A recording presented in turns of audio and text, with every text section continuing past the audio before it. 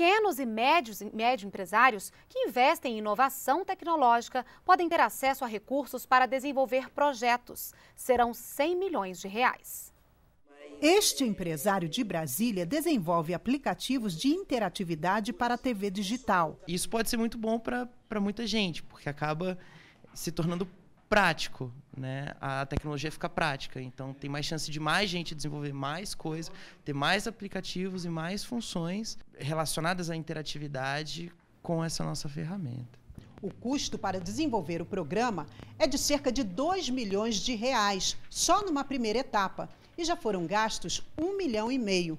Para ver a ideia sair do papel, o empresário já pensa em financiar o projeto com o apoio da financiadora de estudos e projetos, a FINEP. Nesta quinta-feira, o ministro das Comunicações, Paulo Bernardo, assinou contrato de repasse de 100 milhões de reais para a FINEP.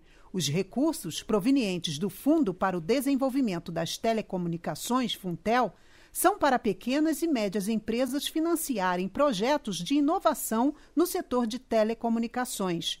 Os juros cobrados do financiamento são TR mais 2,5% ao ano. Só entrar no site da FINEP, tem todos os formulários lá, ele faz, apresenta uma carta, uma consulta prévia com o projeto, com a ideia do projeto, nós vamos analisar se for uh, um projeto relacionado à tecnologia, entra-se num, entra numa segunda fase em que ele vai apresentar uma solicitação de financiamento com um projeto um pouquinho mais encorpado, uh, com prazos, com daí já entra na parte de garantias, tudo isso. Já tínhamos repassado 100 milhões, repassamos mais 100 agora é, com esse ato hoje e até o fim do ano estamos pensando em fazer mais 100. Dizer, na verdade é uma forma de é, financiar projetos na área de, de comunicações.